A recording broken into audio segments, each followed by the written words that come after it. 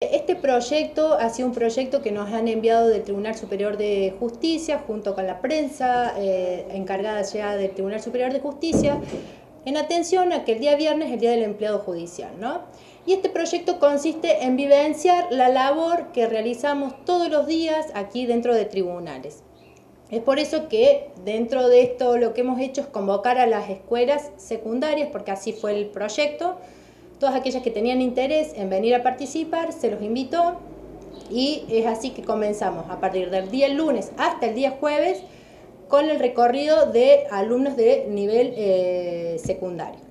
Lo que hacemos es darle una breve charla de qué es lo que hacemos aquí en tribunales, cómo está dividido el tribunal, quiénes somos los que trabajamos, qué es lo que puede hacer un ciudadano cuando quiere acceder a la justicia, a reclamar algún derecho.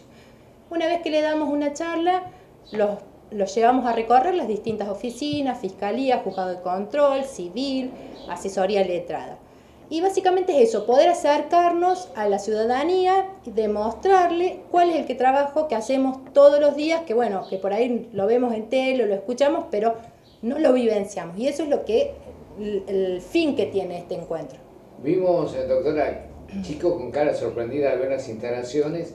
¿Realizaron alguna consulta específica a los chicos? No, les interesaba mucho el tema, eh, hacían preguntas, pero sobre todo era, les interesaba era fiscalía, porque los llevamos a recorrer lo que es eh, la Cámara GESEL, que es allí donde se toman los testimonios a los niños que son víctimas de algún delito, les explicamos en qué consiste.